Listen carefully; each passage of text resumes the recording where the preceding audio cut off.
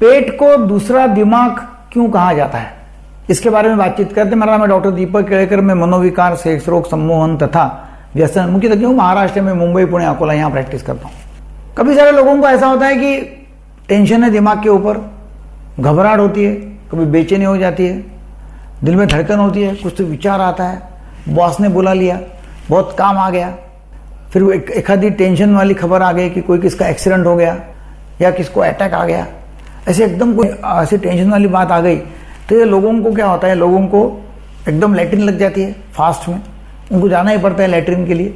या उनको यूरिनल लग जाएँगे, पेशाब लग जाएँगे मतलब संडास लगेंगी या पेशाब लगेंगी, और तुरंत जाना पड़ेगा इतनी गड़बड़ी पेट में हो जाती है कि उनको जाके इवैक्यूएट करना पड़ता है। उनको मुँह सूख जाता है। पानी पीने की इच्छा होती है, मगर पानी अंदर निकलते नहीं आता। बहुत ज़्यादा टेंशन यदि ज़्यादा समय तक है तो भूख नहीं लगती। खाना नहीं खाते, भूख यानी अच्छी अच्छी चीज़ें सामने लाओ तो उनकी इच्छा नहीं होंगी।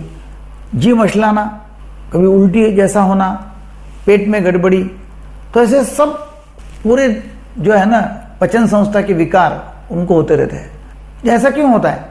क्योंकि पेट को मतलब गैस्ट्रिक एरिया जो है अपना मतलब गैस्ट्रो इंटेस्टिनल जो पूरी सिस्टम है, पचन संस्था जो है, उसको दूसरा दिमाग कहते हैं। और ऐसा पाया गया है कि इनको हम एंजियोलाइटिक्स देते हैं। तो दिमाग थोड़ा रिलैक्स होता है। एंजियोलाइटिस देके मतलब चिंता कम करने वाली दवाइयाँ। यदि सेरोटोनिन प्रिपरेशन हम देते हैं तो उससे भी पेट के विकार काफ़ी कम हो जाते हैं। फ्लॉक्सिटिन की दवा देते उससे पेट के विकार कम हो जाते हैं। मगर ये दवाइयाँ हैं। हमको ये देखना है कि हम उनको नेचुरली ठीक कैसे करेंगे।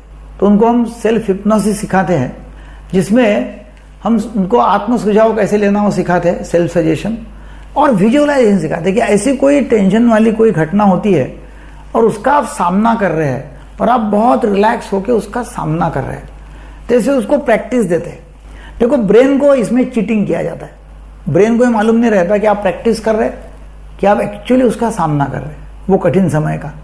तो कठिन समय का मैं सामना कर रहा हूँ। टेंशन वाली चीज़ है टेंशन वाली सिचुएशन है, उसका मैं सामना कर रहा हूँ।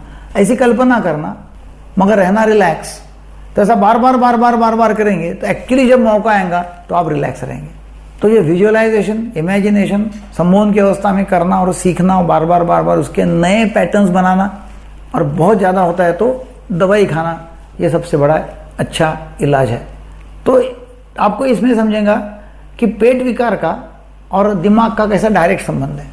टेंशन जहाँ जहाँ आता है तो वहाँ पेट विकार के प्रकार या पेट विकार के सिम्टम चालू हो जाते हैं, जैसे ढकार आना जी मछलाना बहुत एसिडिटी होना, पेट में दर्द, पेट फूल जाना, ज़्यादा लेटरिन को लगना मतलब शौच ज़्यादा लगना, या ज़्यादा यूरिनल को लगना, या अपचन हो जाना, उल्टी होना नौशिया होना, कुछ खाने की इच्छा नहीं होना, या फिर बहुत ज़्यादा खाना खाना।